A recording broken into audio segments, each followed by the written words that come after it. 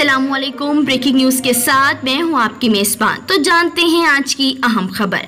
बड़ी और अहम खबर आपके साथ शेयर करेंगे पाकिस्तानी कॉमेडी उमर शरीफ। न सिर्फ़ पाकिस्तान, बल्कि हमसाया मुल्क भारत में भी बेहद मकबूलियत हासिल कर चुके हैं।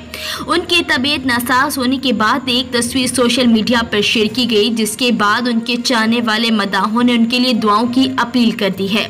तवील अरसे से अलील उमर शरीफ की जानब से सोशल मीडिया पर तस्वीर शेयर की गई। तस्वीर में देखा जा सकता है कि वो व्हील चेयर पर बैठे हुए हैं। उन्होंने दाढ़ी बढ़ा रखी है और सर पर टोपी पहन रखी है।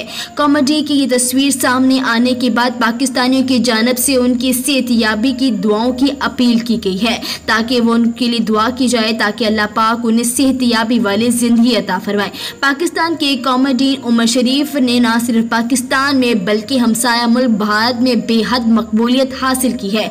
वो तवील अरसे से अलील हैं, सोशल मीडिया पर की तस्वीर ने मदाहों को अफसोदा कर दिया है और उनके लिए दुआओं की अपील की जा रही है। दुआ कीजिए ताकि अल्लाह पाक उन्हें जल्द से सेहतियाबी वाली ज़िंदगी अता फरमाए और दोबारा से वो अपने चाहने वाले मदाहों को उसी तरह से नज़र आए। लेकिन याद रहे कि गुजशत माह उमर शरीफ ने सिंध हाई कोर्ट में अपनी तीसरी बीवी के खिलाफ दरख्वास्त भी दी थी। उस वक्त भी वो कमरा अदालत में व्हील चेयर पर आए थे। लेकिन आज की बड़ी और अफसोसनाक खबर आपके साथ शेयर कर रही है। पाकिस्तान के उमर शरीफ कॉमेडी की दुनिया में राज करने वाले।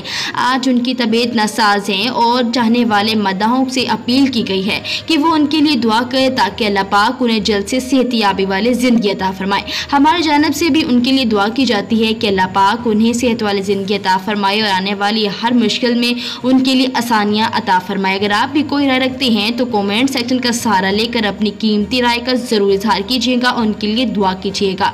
अगर वीडियो अच्छी लगती है तो वीडियो को लाइक और शेयर करना मत भूलिएगा अपना अपने प्यारों का बहुत ज़्यादा ख्याल कीजिए, हमें इस वीडियो से इजाज़त दीजिए। अल्लाह हाफिज़।